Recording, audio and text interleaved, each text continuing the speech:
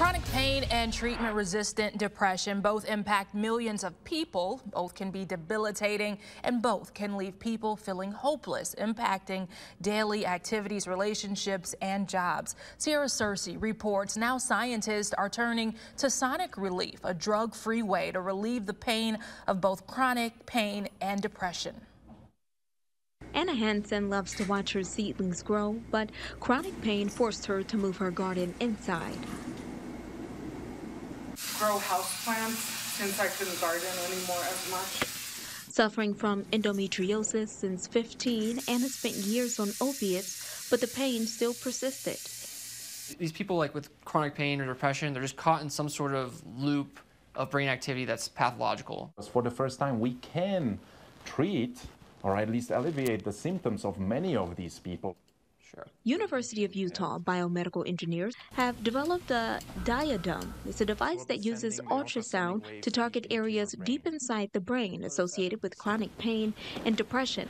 After mapping the brain with an MRI, Diadem then uses 252 beams of sound waves to target areas as small as a peanut. Do that say that all again and I'm After 30 seconds of sonication, they'll be able to tell like I feel more relaxed. I feel uh, a little bit lighter. The blankets. In the chronic pain trial, 75% of people experienced meaningful reduction immediately following treatment. For depression, 58% were in remission after one session. One patient remained in remission for over 44 days. Anna says she felt immediate relief and became pain free within a week feel like I can do things because at first you're very cautious you don't want to do anything that could trigger it to come back. It's given me back myself. And so it feels great. I'm Sierra Searcy reporting.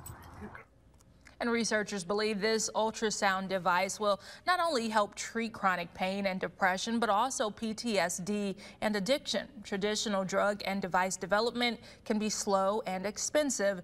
These researchers are working to speed up the approval of ultrasound therapy for chronic pain and depression by pursuing dual strategy with the FDA.